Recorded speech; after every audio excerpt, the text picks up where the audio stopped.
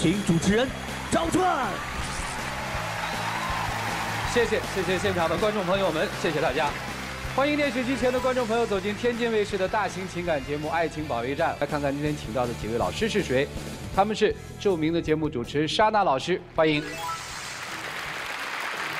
华谊嘉信的高级副总裁曲伟老师，欢迎；著名的节目主持人严炳宏老师，欢迎；胡磊老师，欢迎。来了解一下今天第一对嘉宾朋友的基本情况，各位请看。我们在一起这两年，你提了无数次分手，而且理由越来越离谱。我感觉在你眼中，分手就像是玩笑。分手不是目的，我只是想你能改掉你身上的那些缺点，这样我们才能更好的走下去。也许在你眼中，我全身都是缺点，但我却感觉是你在恋爱中越来越作。我觉得平淡的恋爱中也需要一些调剂，偶尔摩擦摩擦，分分合合，两个人才能更长长久久。掌声有请这一对，有请。小季，二十三岁，来自天津销售；小李，二十八岁，来自河北互联网公司员工，有请。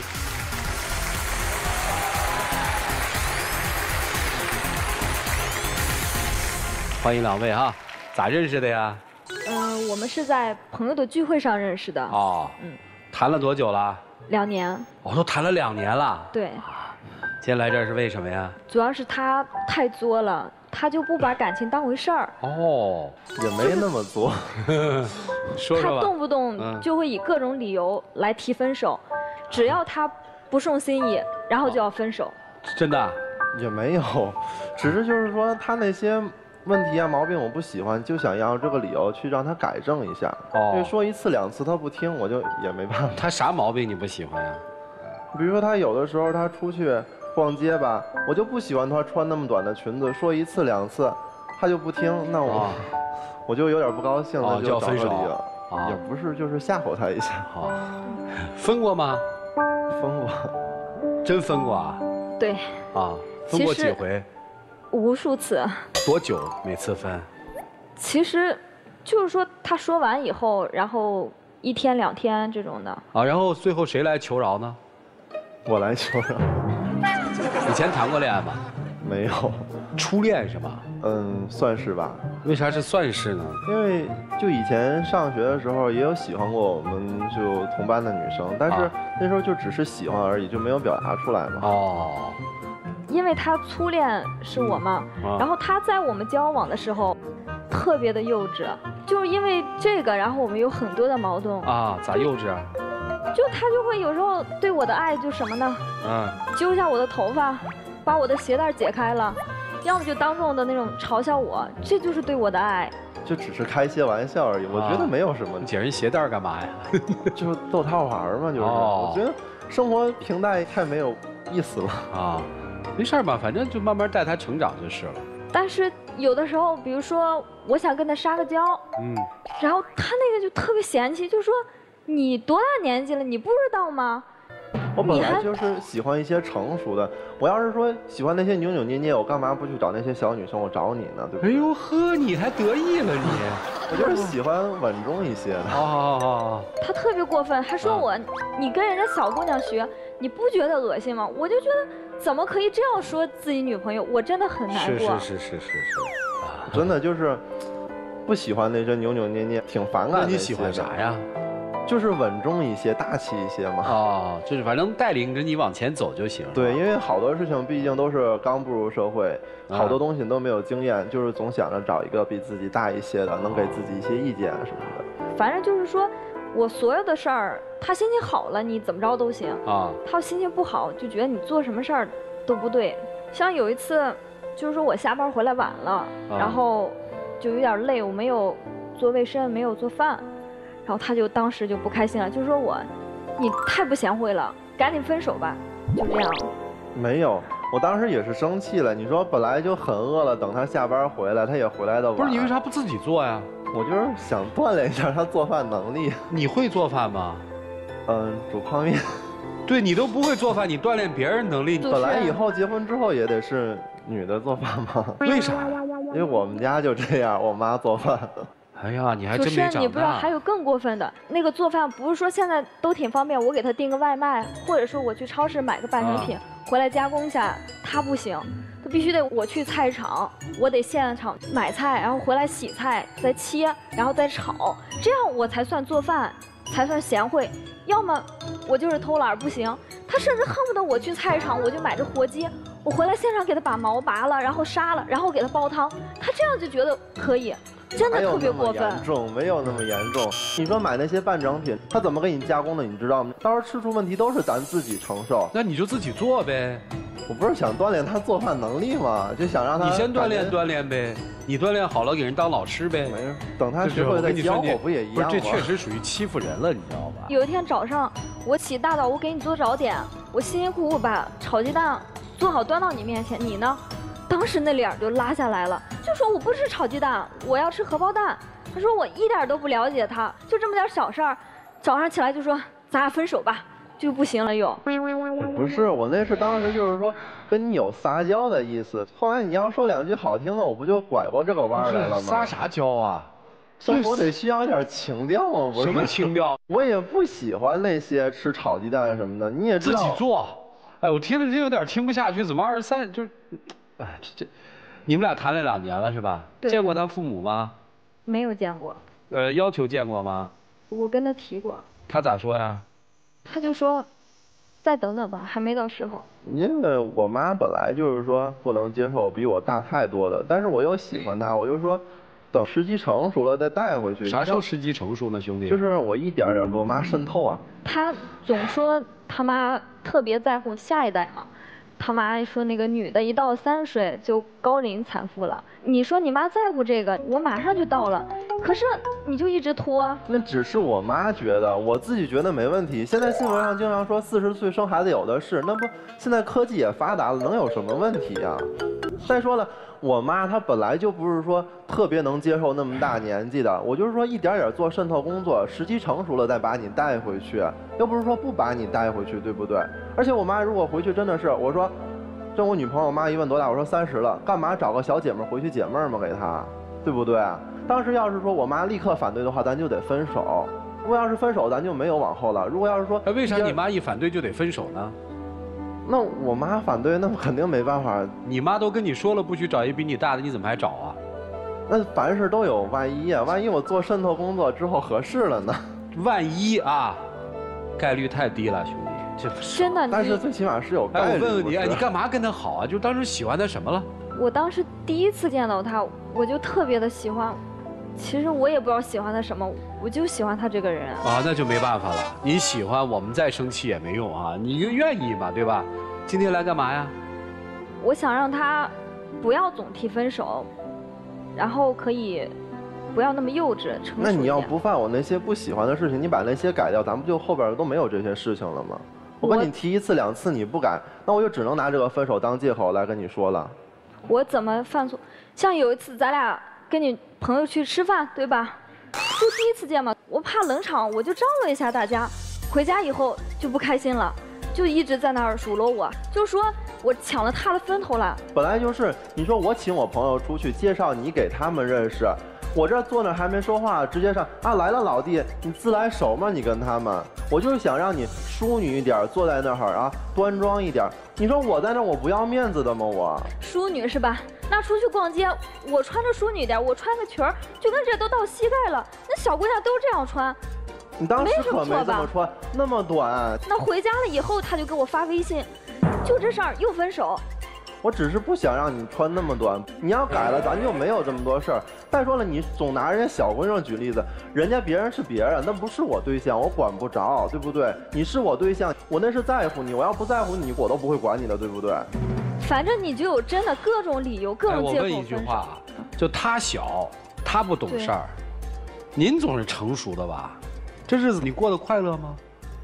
我觉得挺。但是，有时候真的也很开心。哦，有时候开心是。对。你有没有想过要跟他分手啊？我之前有跟他提过一次啊，但是他把我哄回来了。啊，一哄就哄回来了。但我也跟他说了。如果他不改的话，就会真的分手。他改什么呢？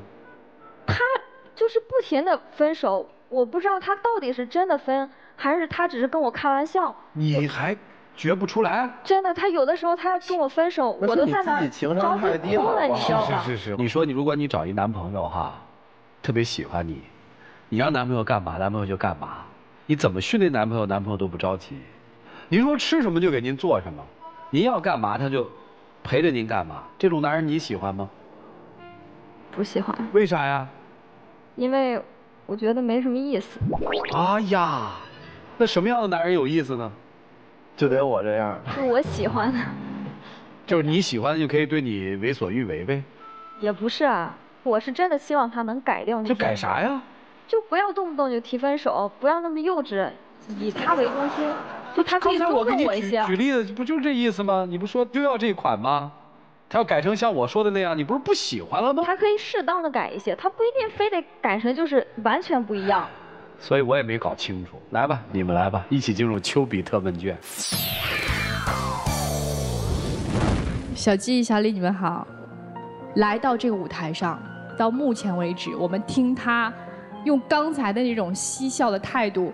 来形容跟你的这段感情，然后形容什么分手就是感情需要什么轰轰烈烈浪漫，拿分手当浪漫，这样的态度来对你，我觉得不管他改不改，你今天都不应该从这个门里出来，你得把你丢在地上的自尊捡起来。男孩咱不能仗着别人喜欢自己，就作威作福。凭什么人家一定要为你做那些事情呀？不就是因为我喜欢你吗？你不爱我可以，你别欺负我行不行？也不是欺负他，这还不叫欺负呀？拿分手当儿戏，大清早上起来做的不是荷包蛋就分手，只是撒个娇。你就是请一个撒娇，分手是撒娇。你不知道，当一个人深爱你的时候，分手这两个字是会刺痛他的心的吗？当然你不懂，因为你没爱上。如果真的不喜欢人家的话，好好的告诉他。但是你喜欢的是什么啊？你享受的是有人这么听你的话，能有人做到这样，谁都喜欢。但我们喜欢的前提是要最基本的尊重人家，不能拿感情当儿戏，不能拿分手当儿戏。所以，我希望你啊，先好好的审视一下自己，再去谈恋爱，好吗？好，好，谢谢。男孩坦白的说：“你还没有真正的长大，你那的确是一种撒娇的方式，但是那是习惯于对母亲式的那种爱的撒娇，因为在这种方式下，母亲是可以对你无底线的包容，因为你是他儿子，对不对？”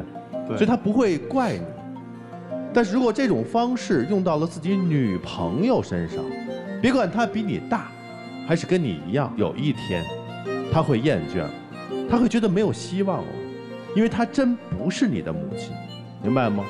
他虽然愿意去爱你，愿意去包容你，但是他也需要有回报。母亲可以不需要，但对方一定是需要的，需要有回应，有呵护。有关心，有体谅，对方他也需要这种你给他的爱，你是可以给的，只不过呢，你现在你不懂得如何去给，所以你要独立，对不对？你要学会去爱。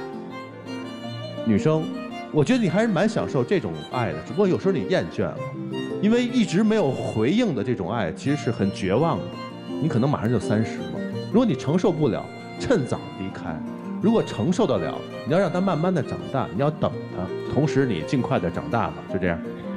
徐总好宽容啊，就是我儿子，我早上给他做了荷包蛋。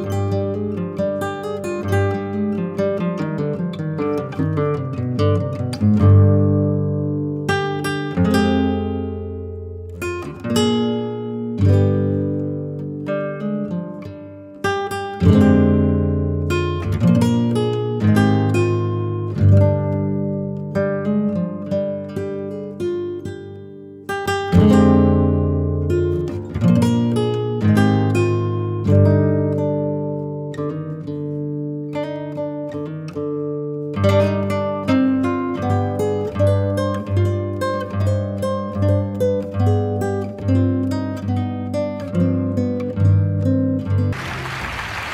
告诉你，千万不要有万一。他的母亲如果勉强妥协了，你觉得你会有好日子过？不同意就是不同意，如果因为儿子被迫同意，勉强同意，那更难受。那对你更有意见。撒娇，什么人有资格撒娇？是在生活当中有付出的。心中有真诚的人才有资格撒娇，你那叫耍赖。你自己没有为对方做什么，作威作福，要吃这个要弄那个，你那叫耍赖，你知道吗？你那不叫撒娇。你不是说你喜欢这样的吗？顺从你的、为你做事的，你不喜欢，那你就说说他哪儿好。如果我要是能说出来，我，我也许就不会站在这儿。就是有一种人，你就看到他就会很。因为有一种人激发了你的母性，他的折磨对于你来说让生活变得特别充实。你别忘了一件事，他有吗？所以我也就不谈什么自尊呐，什么自信啊，这个东西都不谈了。我就告诉你一个结果：如果他的母亲同意了。你的日子会更难过。你要是不相信，你就试试看，就这样。我觉得二十三岁了，你不管是初恋也好，因为你已经开始恋爱了嘛。恋爱，我想至少有一个标准，意味着你成年了，对吧？对。就是一个成年的男人，怎么会心里面没有感激？我们家姑娘六岁，早上给她起来，随便做什么，随便做什么，不管做什么，只要她吃的时候，她说：“爸爸，你做的最好。”六岁嘛，你二十三了嘛。当然，你们觉得这模式好，我们也不能反对。您要愿意，你就坚持。我们这儿就是给出不同的观点，最后嘉宾要怎么样，那是嘉宾的自由和权利，好吧？嗯，给我时间，我会努力学着成长，让你看到我的改变。然后也希望你能在我身边见证我的成长。我希望你是真的能改。我希望我们的爱情是美的，不是说一方面是付出的，一方面是享受的。我希望你可以认真的在考虑，不要总把分手挂在嘴边，我真的会很伤心，特别的伤心。我听来听去，大概女生就一个诉求，只要以后你闭上嘴别说分手。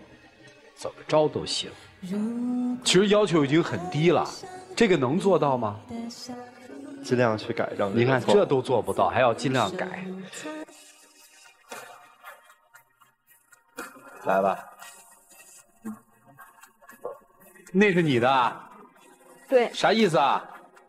因为他在生活中真的，就我很宠他，我觉得。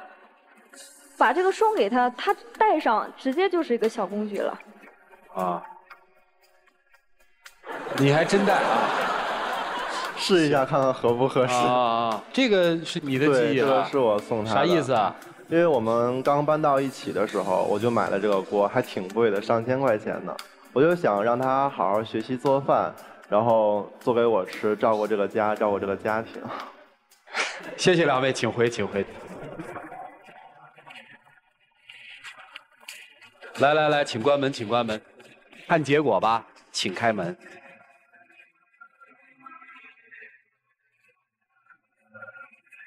来来来来来。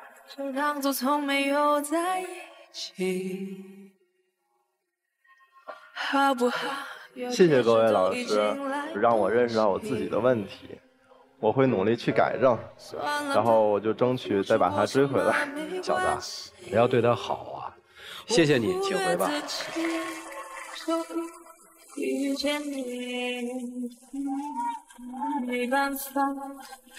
祝他们开心幸福吧。了解下一对的基本情况，各位请看。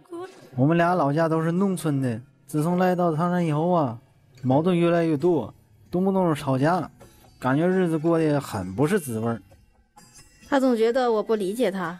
可是我每天又得在外面挣钱，回到家又得操持家务，他根本看不到我为这个家付出了多少。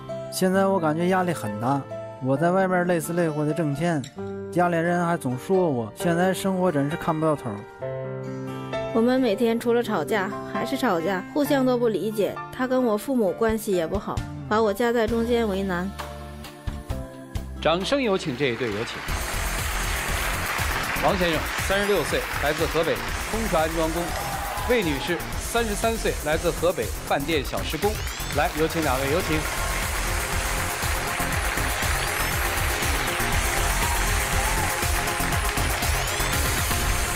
欢迎两位啊！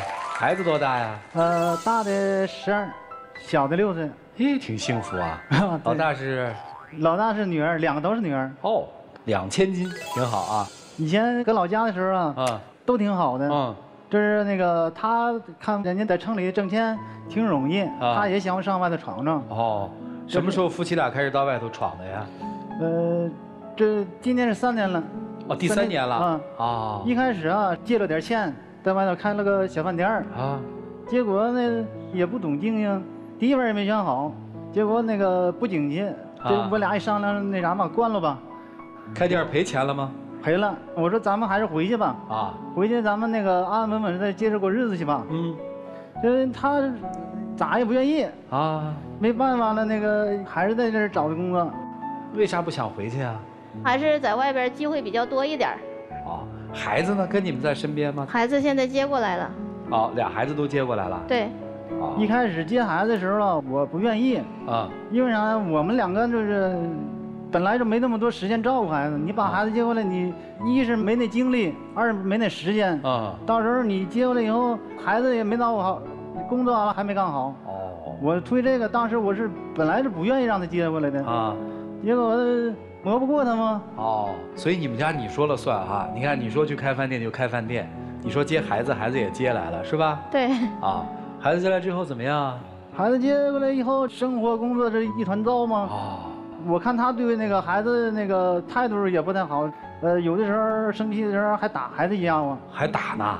我那不是故意的，就是那天吧，我下班也是比较晚的，然后我也比较累，然后回家我就教他那道题，怎么教他也不会，我也就是有点儿压力挺大的吧，然后我就顺手就打了他两下，正好让他看到了。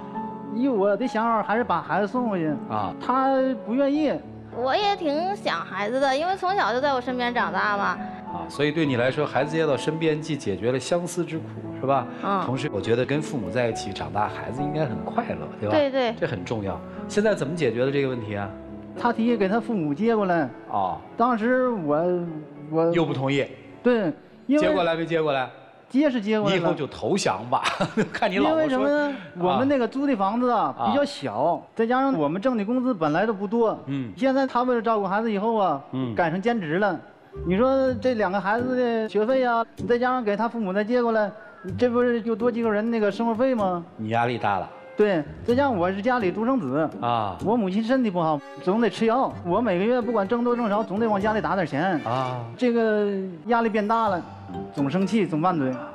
这丈母娘来了之后好点没有啊？没有，不同意丈母娘来，也是嫌她唠叨，特别能叨叨，一般人受不了。哦，就像我身体不好的时候，或者说那个收工伤的时候，在家躺几天，他妈都嫌我那啥，不出去干活去。哦，不理解是吧？对。那个是没跟我母亲解释清楚，他那个受伤以后吧，我们就不想告诉他，怕他担心嘛。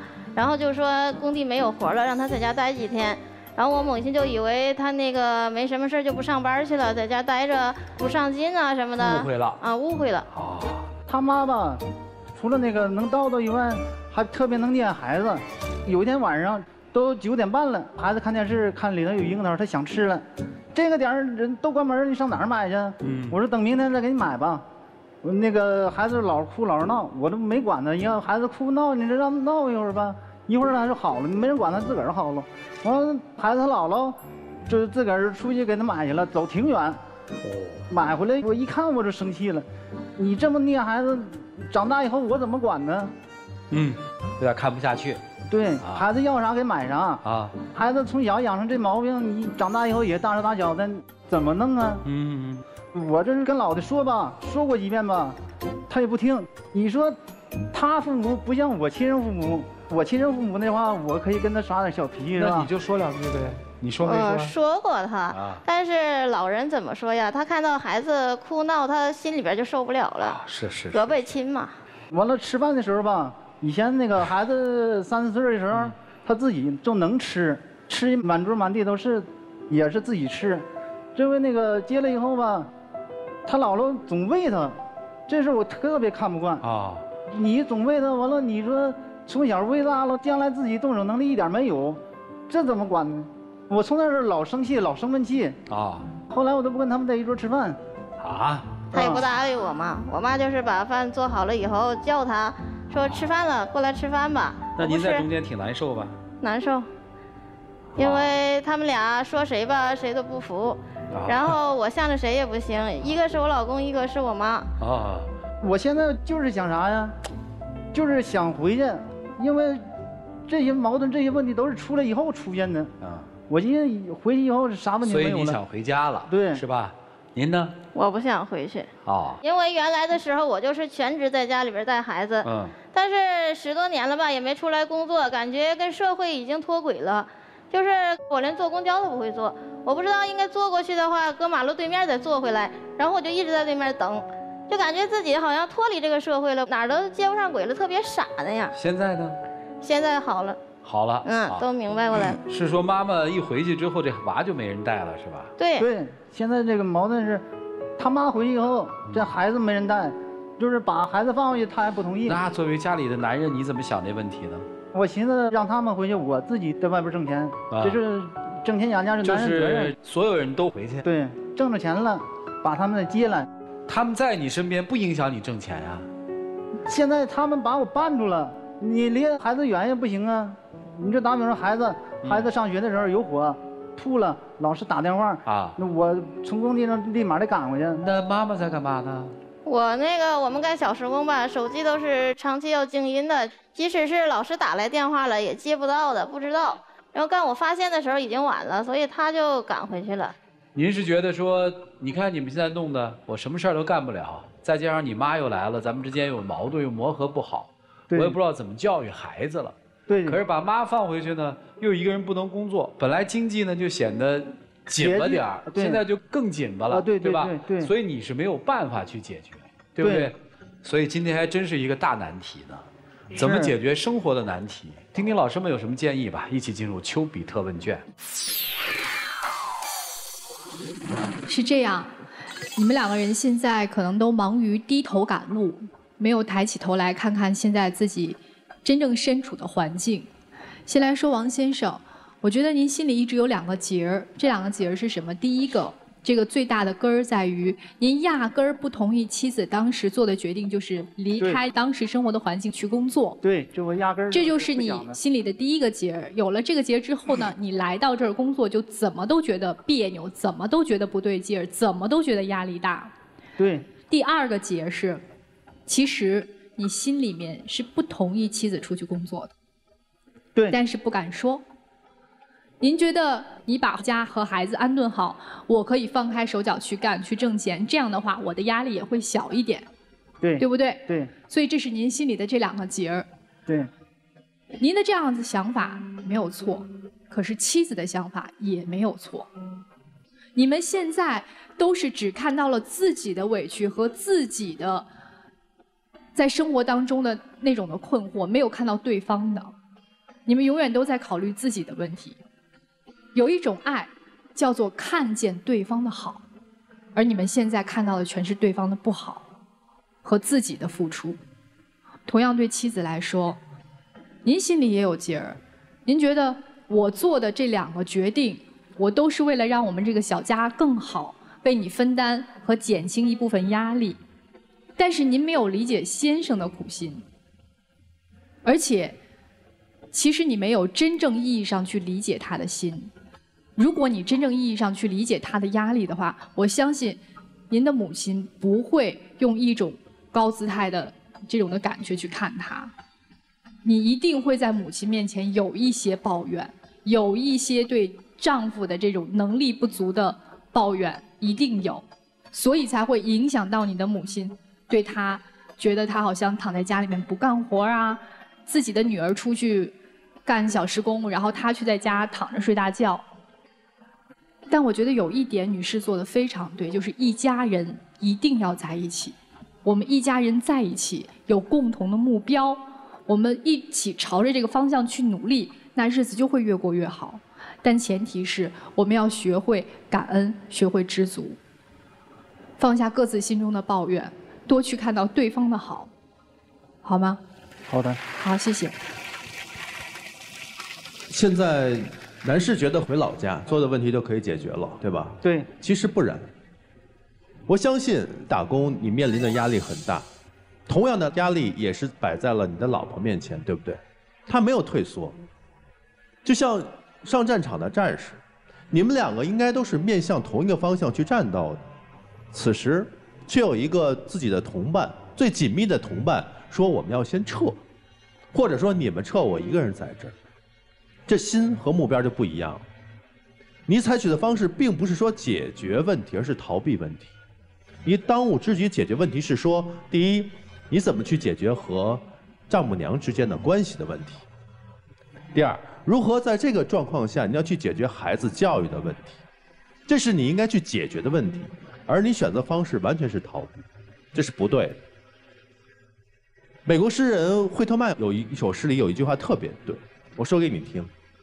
他那诗的名字叫《有一个孩子在向前走》，有一个孩子每天都向前走，他所看到的最初的东西，他就会变成那个东西，而那东西就会变成他的一部分。请问，现在你们家的两个孩子看到的是什么？争吵，父母之间的争吵，父亲和姥姥之间的争吵。本来就不大的那个小家里头。几个人还不说话，还冷战，孩子看到了什么？他感受到了什么？他不会有快乐的。而你当下要解决的第三个问题就是如何让孩子快乐起来。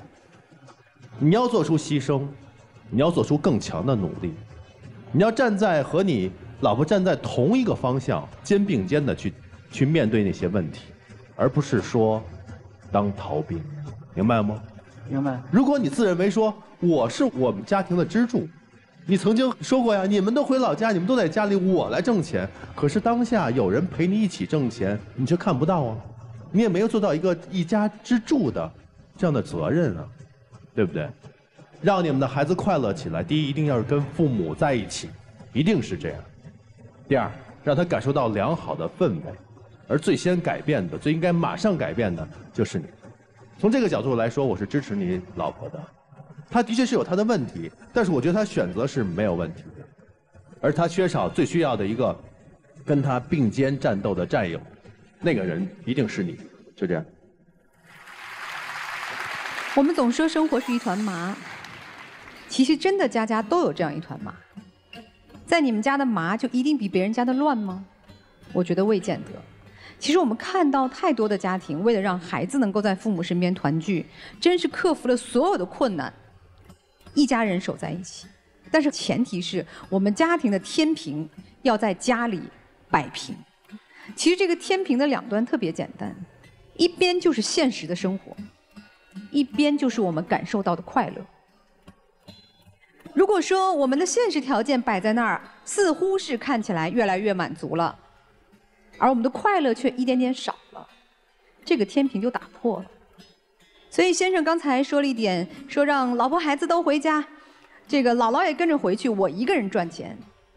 看似你这边的现实的条件越来越好了，我一个人努力挣钱，我少了很多处理家庭矛盾的麻烦。你的天平这边是多起来了，但是对于你们整个家庭来说，你爱人的快乐少了。老公也不在身边，也不能实现自己的社会价值，孩子也远离父亲，整个家庭，如果你整体来算的话，快乐就是少。所以我们走入家庭，成为丈夫，成为父亲，成为母亲，衡量的一定不是个人的快乐和个人的现实条件，而是整个家庭的总量。其实你们静下来想想，其实现在的状态是更容易让你们能够快乐的。整个家庭的快乐啊，可能先生要承担，就是要和这个丈母娘搞好关系，没有那么自由自在，可能有了更多要照顾孩子的责任。但是哪个家庭不是这样啊？所以，当我们清晰的算好了，我们整体家庭的快乐值上升的时候，每个人该付出什么，该隐忍什么，那就是必须承担的责任。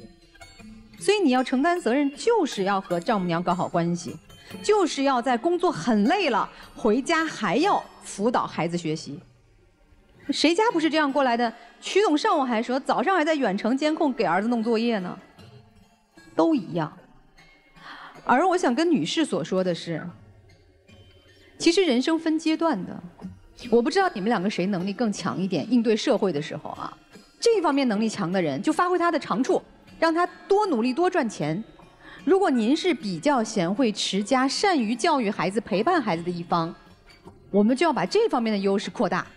你明白我说的吗？你就不要非要跟他争执说，你能赚钱我也能，你要实现价值我也得出去干活。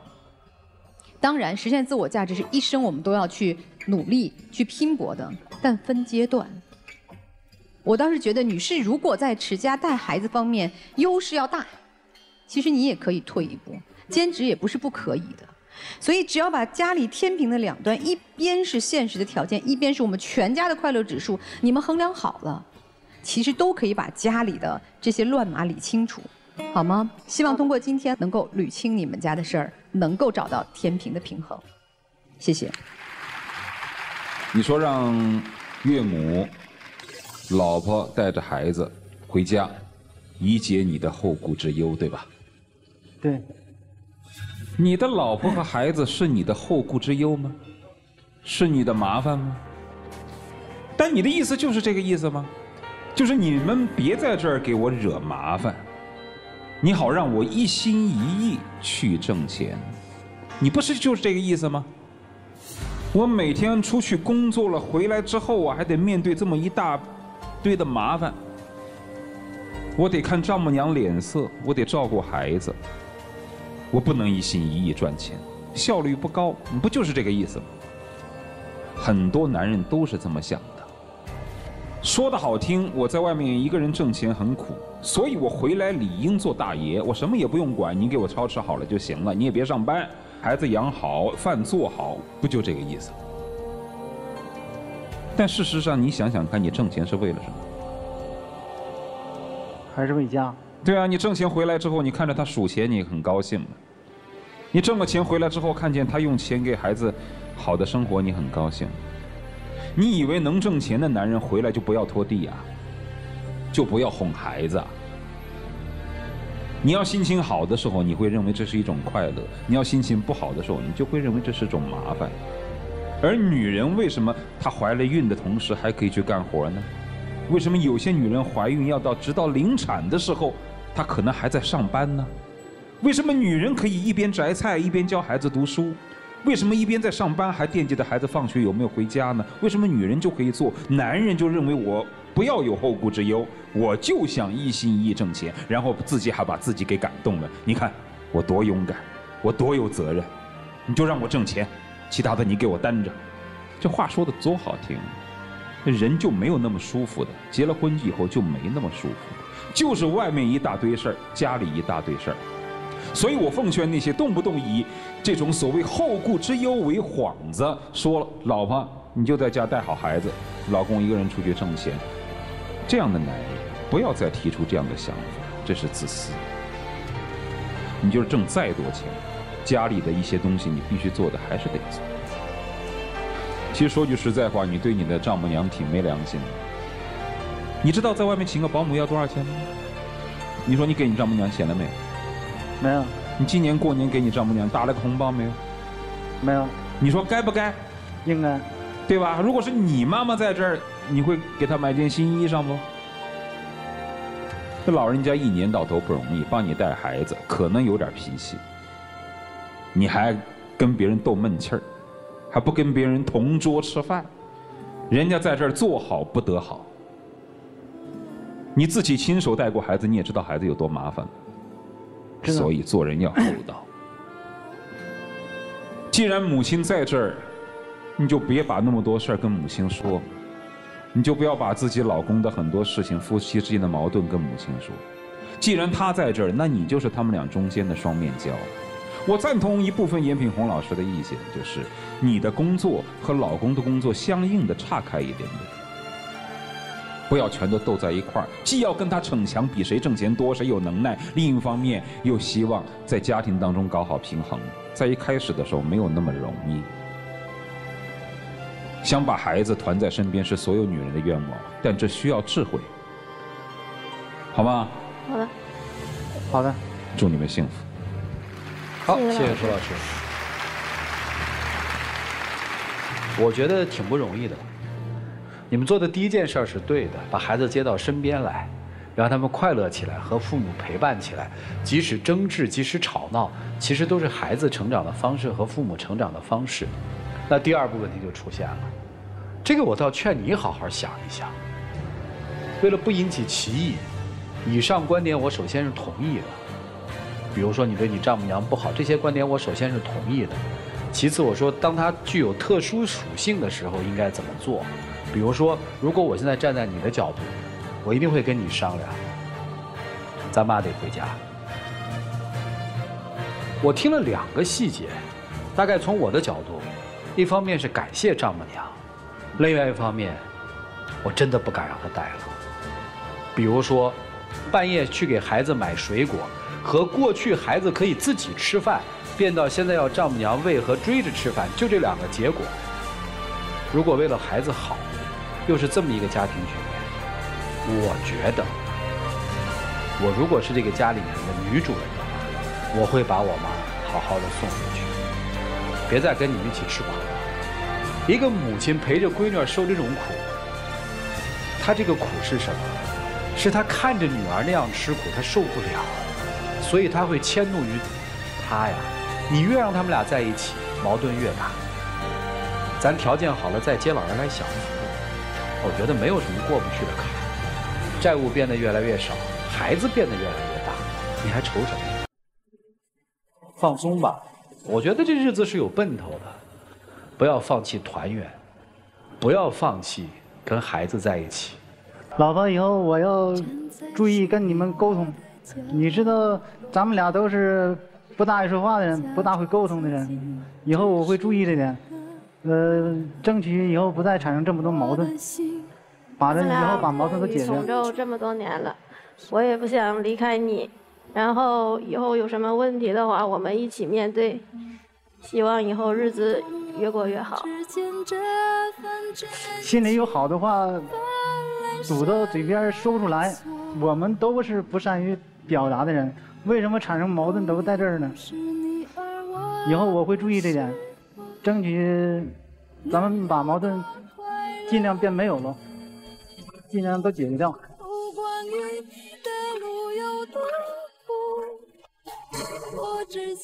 挺好的，以后多唠唠嗑啊！今天你们也带了记忆的东西来了是吧？对。特别好奇，这夫妻俩带的是什么啊？来来来，去拿拿。看你妻子给你拿的啥？看你老公给你拿的啥？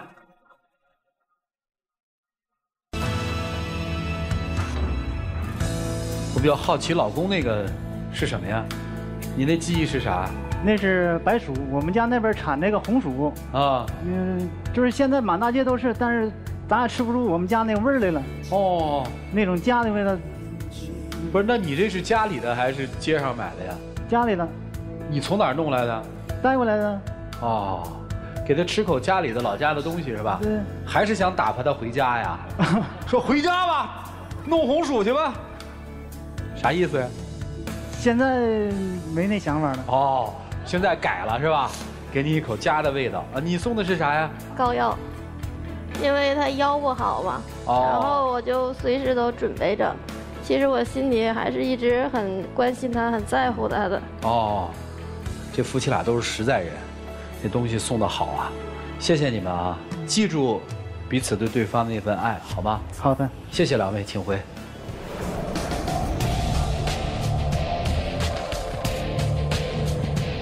来，请关门啊！来吧，看抉择吧，请开门。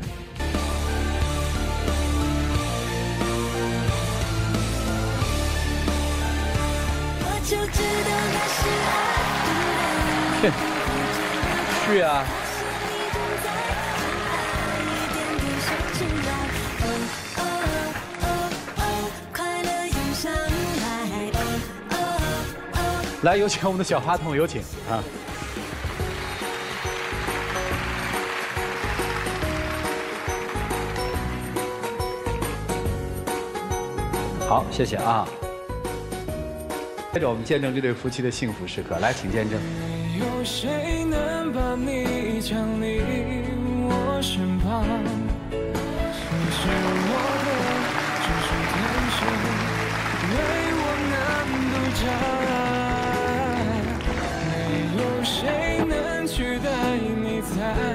请亮灯啊！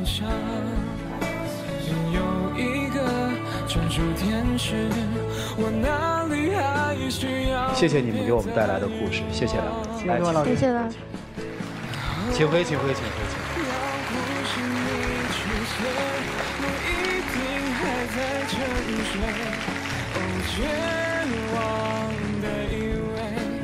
衷心的祝这样的年轻人们，在生活面前可以坚强，祝他们越活越开心，越活越幸福。有网友提问说。我们结婚快十年了，孩子跟他爸爸本来就不亲。最近孩子学习压力有些大，而且呢又是叛逆期，跟他爸总是大吵。我因为向着孩子，总是跟他爸吵架。这两天他爸直接离家出走了，孩子还拍手叫好。现在这种家庭关系，我该怎么改善呢？一个母亲一定是家庭家风的铸造者。我相信呢，在父子关系的恶化程度上，您肯定帮了不少忙。如果您能对孩子做到正确引导，告诉他父亲的爱不易于表面流露的话，相信父子关系会有所改善的。加油吧！我们下期节目再见，谢谢大家。